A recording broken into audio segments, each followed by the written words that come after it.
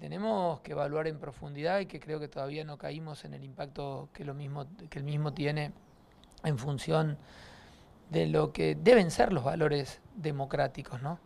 Eh, ¿Cuál es el objetivo, entienden ustedes, después de escuchar estos audios que tenía para ustedes el gobernador de la provincia?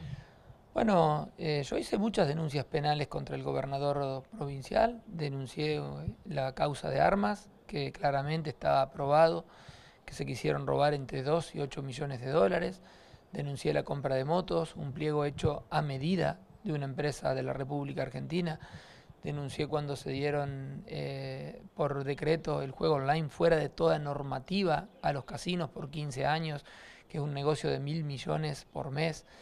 Entonces digo, cuando uno planteaba estas cosas, el gobierno directamente reaccionaba. Reaccionaba con noticias falsas en medios que no existían, poniéndole mucha publicidad en redes sociales para golpear el prestigio y lo que se prueba y lo que se ve aquí es que esa información, a través de noticias falsas, a través de, perfilamiento y demás, salía de esta agencia de inteligencia ilegal que, tenía que estaba en el corazón del gobierno de la provincia de Santa Fe.